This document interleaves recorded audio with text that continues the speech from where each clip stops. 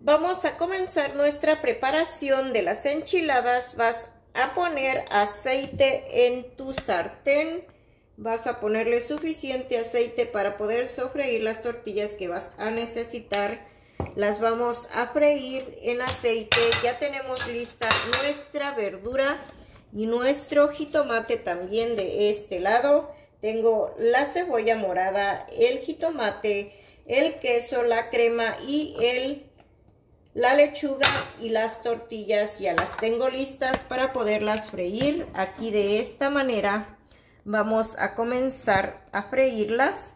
En aceite debe de estar caliente, caliente y la salsa frita en aceite también. Y vas a meter las tortillas, puedes freírlas las tortillas así y después pasarlas en la salsa para que no se te haga tanto reguero. O puedes meterlas en la salsa y freírlas en, en el sartén. Ok, vamos a hacer de las dos formas ahorita. Vamos a freírlas en aceite primero. Ya está listo para que no nos queme. Comenzamos a freírlas. Le falta un poquito caliente, pero no importa, para que no te quemes, ¿ok?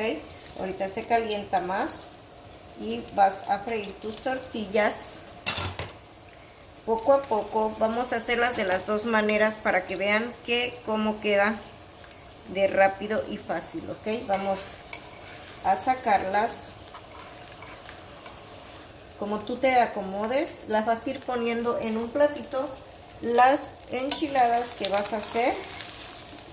Y ahorita vamos a este a sofreír las otras también Primero las vamos a hacer de esta manera y las vamos a ir pasando en la salsa de guajillo para que nos queden muy sabrosas, ¿ok? Vamos a poner de a dos para que no se caliente el sartén. Las volteas nada más tantito fritas que se cosan, nada más y para que te queden bien. Ok, vamos a irlas poniendo en el plato.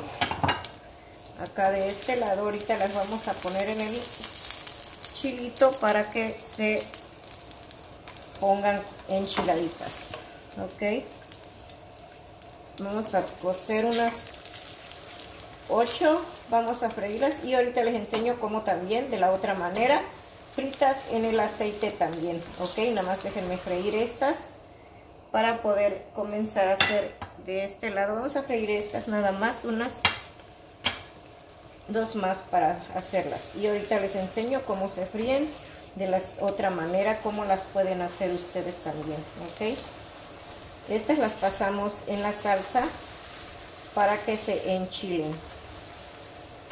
De las dos versiones las puedes hacer. Ok vamos falta una. Y terminamos con esta y ahorita vamos a hacer de las otras fritas. Ok unas cuatro fritas vamos a hacer nada más. Déjenme en frío otras más para que me queden listas para no freírlas tanto. No me gusta freírlas en aceite porque me, este, me salpica mucho el aceite. Pero si tú quieres las puedes hacer también. Si te gustan fritas yo nada más así las caliento. Voy a calentar otras cuatro más para poder después hacerlas cuando ya las vayan a comer. También para eso las fríes nada más así, para que cuando ya te las vayas a comer, ya estén listas y no las tengas que estar friendo y sea más rápido para que tú las prepares. Más cuando son mucha familia, así de esta manera las puedes realizar. Ok, vamos a freír otras dos más y ahorita las freímos las otras para que ustedes puedan ver cómo se hacen las enchiladas mexicanas. Ya no tengo casi aceite. Vamos a ponerle otro poquito de aceite. Así se cocinan las enchiladas mexicanas. A lo mejor ustedes las cocinan diferente.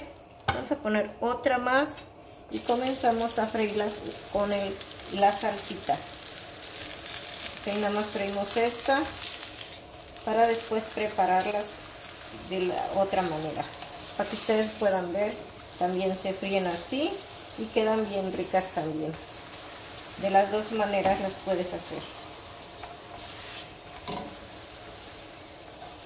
vamos a preparar unas fritas en salsa, ¿ok? Vamos, vas a, a poner acá, de este lado las vas a poner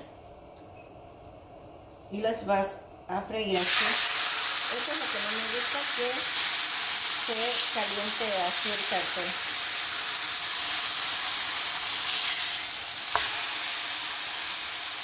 Así y paso otro así. Estoy eh, tenía mucha esta política.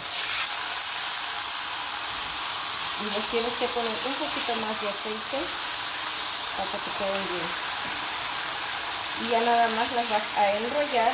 Le pones el pollo adentro y las enrollas así. ¿Ok?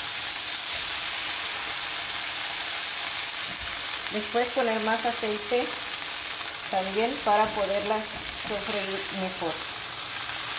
Las vas a enrollar así de esta manera.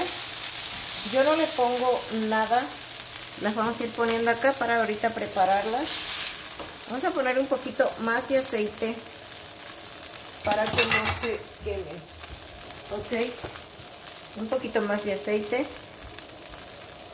También se huele mucho la casa cuando las haces de esta manera.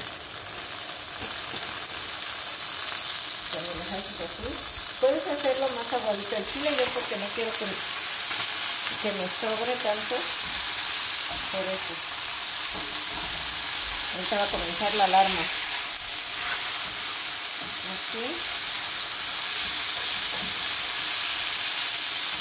Y las vas a enrollar. Las vas a enrollar así y vas a poner la otra. Con cuidadito para que no te vayas a quemar. porque te salpica el aceite las enchilas y las pones en el aceite estas llevan más aceite porque se tiene que cocinar el el chilito ok, las sacas, esta ya está vamos a poner de a tres la volteas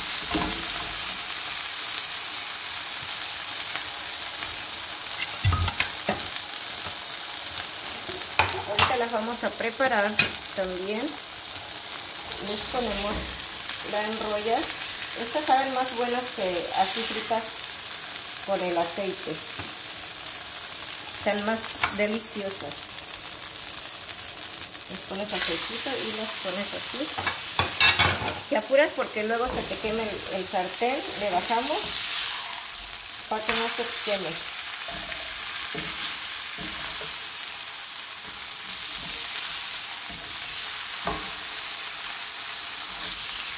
las enrollas, le pones el, pollito. Yo tengo pollo ahí, pero no me gustan con pollo. No me gustan con pollo porque no este... Vamos a ponerlo a hervir. El chilito y le vamos a poner un poquito más de agua para hacer las otras también. Le ponemos agüita poquita nada más para que no esté tan espeso para las otras. De hierba, un poquitito nada más para que se acabe ya esta salsa. No volteas, absorbe mucho aceite. y las vamos. Voy, a hacer otra más de salsita así frita. Y ya las, las comenzamos a preparar ¿ok? para que ya terminemos vamos a ponerle más aceitito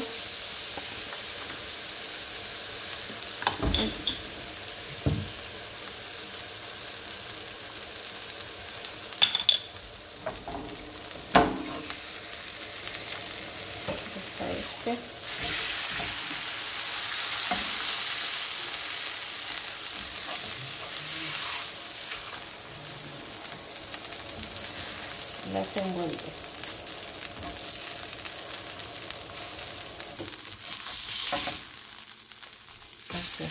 Si no te da tiempo, nada más las fríes y ya, para que no te haga tanto reguero en su cocina.